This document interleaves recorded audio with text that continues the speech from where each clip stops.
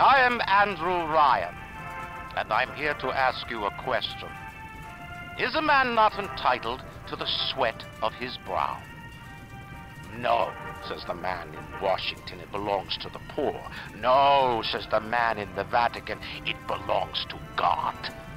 No, says the man in Moscow, it belongs to everyone. I rejected those answers. Instead, I chose something different. I chose the impossible. I chose rapture.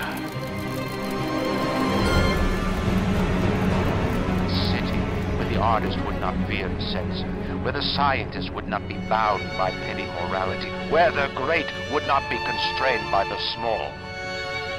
And with the sweat of your brow, rapture can become your city as well.